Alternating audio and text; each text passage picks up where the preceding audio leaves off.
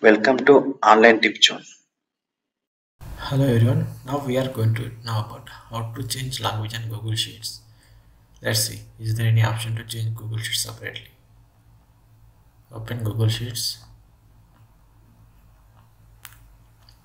Here you can see three dot three horizontal line icon. Okay, just click on it. Now go to settings. Here you can see language option. By default, it is English. When you click on it, it will it will be related to Google account only. So there is no option to change Google Sheets separately. We need to change language in main account Google account. Okay, let's change here. Let it will apply or not.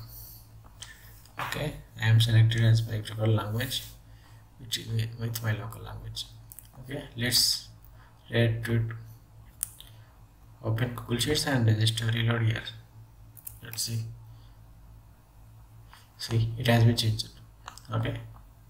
Everything has been changed to Google preferred language which I just did just now. Okay like this you can change Google Sheets language at any time. Okay I am going to change it with my default language.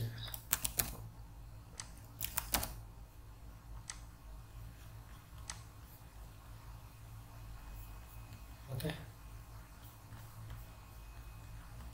change languages.